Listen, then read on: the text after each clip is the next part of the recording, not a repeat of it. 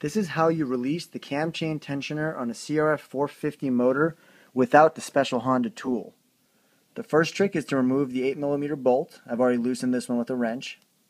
Just pull it out. It really just acts as a cover.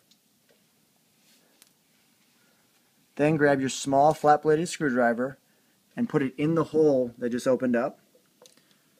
Inside the hole is a flat headed screw that is on the end of the tensioner you turn this clockwise as if you're tightening it, and you can feel it push against the spring force as you release the tension on the cam chain tensioner.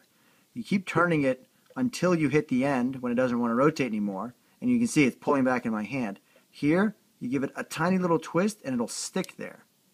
And you can see the screwdriver isn't turning and there's no tension on the cam chain right now. You can let it sit here, you can do your work, and then when you're done, you come in, you pull it just a little bit, it lets go, and then it'll snap around, spin about two rotations, and the cam chain tensioner re-engages and tightens up the cam chain. Remove your tool, put your bolt back, and you're done.